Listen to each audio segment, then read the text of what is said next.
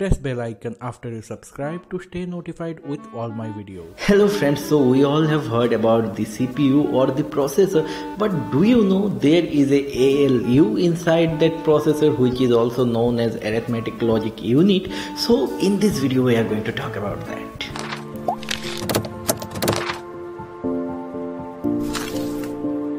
Hello friends, welcome back to TechGeeks and I'm Gaurav. In this channel we talk about techy things and techy stuff. So if you are new to this channel and not subscribed to this channel yet, then please do consider subscribing to it and also do not forget to press the bell icon so that you get notified whenever I publish a new video. And now, in this video we are going to talk about ALU or arithmetic logic unit. So what is this?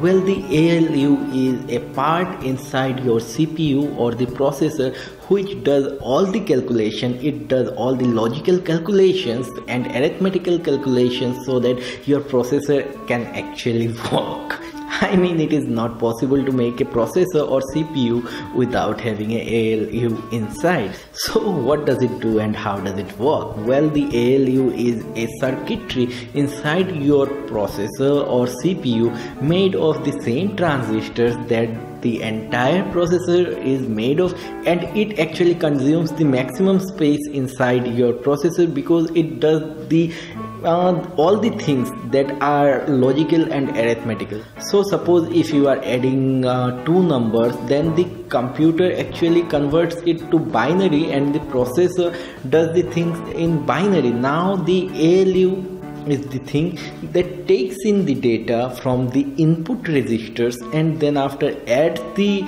uh, binary numbers using the OR, NOR, NAND, AND and other gates and then after stores the result in the output register. So basically it is very simple that ALU does the arithmetic calculations and it is made of billions of transistors. And actually the input transistor or the output transistor are very small size of memories where the bits can be stored and the ALU can take on the bits in a sequence and basically do the calculation based on what kind of arithmetic or logical request you have provided or your application has provided and nowadays the processors contain a much more complexer ALU with a CU or control unit which controls the flow of instructions inside the processor and the ALU is actually the unit of the CPU which does all the logical and arithmetical things. So this is like the brain of the processor. So guys now I hope you know what is